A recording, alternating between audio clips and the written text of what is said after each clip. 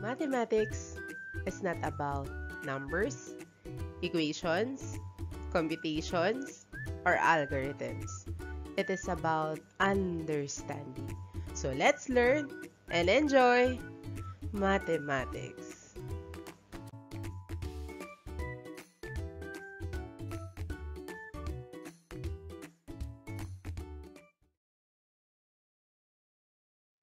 Our lesson is dividing exponents using quotient rule. Quotient rule. We need to keep the base and subtract the exponent.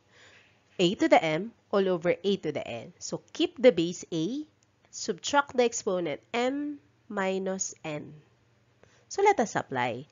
x to the fifth all over x squared.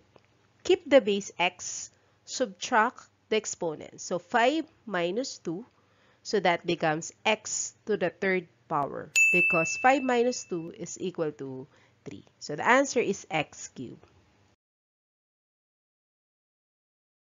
So let us find the quotient of the exponents. In the given x to the 11 all over x to the fifth power, keep the base, the base is x, and then we need to subtract the exponent. So that becomes 11 minus 5.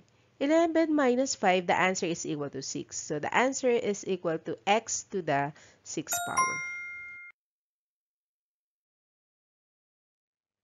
How about number 2? 10x to the 10 all over 2x squared. I-divide ba to o isusubtract? Divide. Kasi the quotient rule is applicable for the exponents, not the number. So it means 10 divided by 2, the answer is equal to 5. Keep the base, so that is x.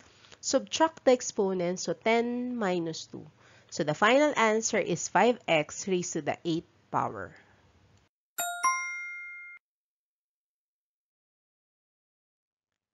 Let us find the quotient x to the 4th times y to the 7 all over x cubed.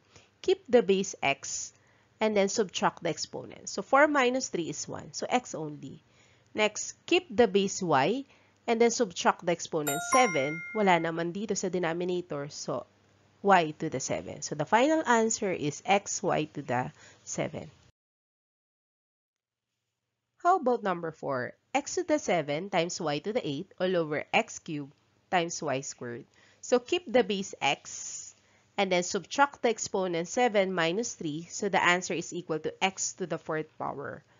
In the second one, y, keep the base y, subtract the exponents 8 minus 2, so the answer is equal to y to the 6. So the final answer is x to the 4th times y to the 6th power.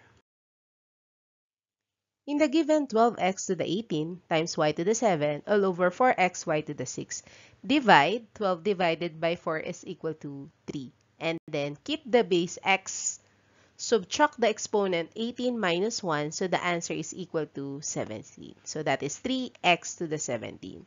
Keep the base y. Subtract the exponent 7 minus 6, so the answer is equal to 1. So the final answer is 3x to the 17 times y. Let us practice what you have learned about dividing exponents. Instruction, pause the video and find the quotient. Provide your answers in the comment section.